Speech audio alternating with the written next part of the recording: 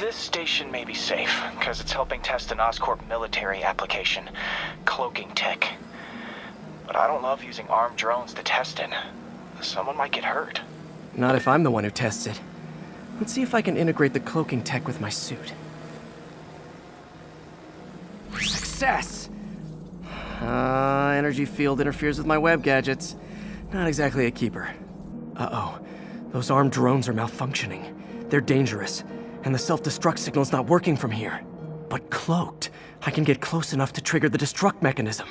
That drone didn't go far. I'll download its data before I wreck it, so they can ID the problem. Okay, I need to get within 10 meters of the drone to stop it, and I'll need to be cloaked. Nailed it! Now I've got to go visible again so I can swing to the others. Welcome to the air show!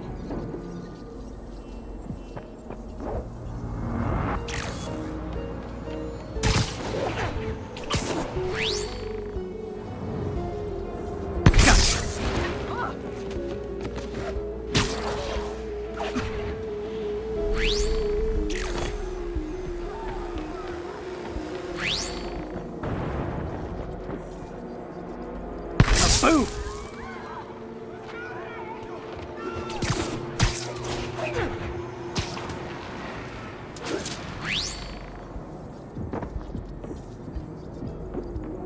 Sorry, drone, but your data lives on.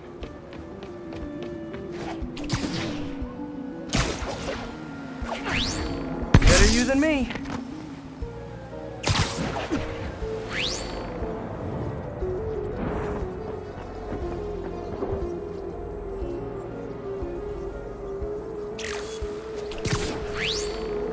See it coming, did you?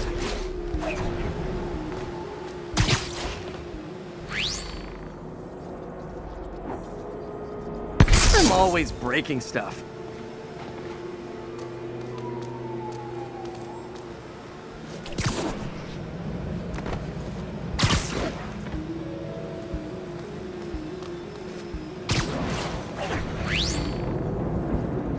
Another one bites the dust.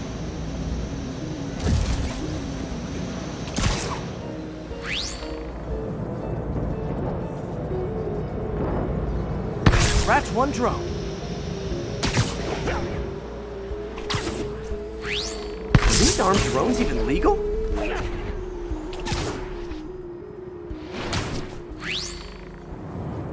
Stealth Spidey strikes again.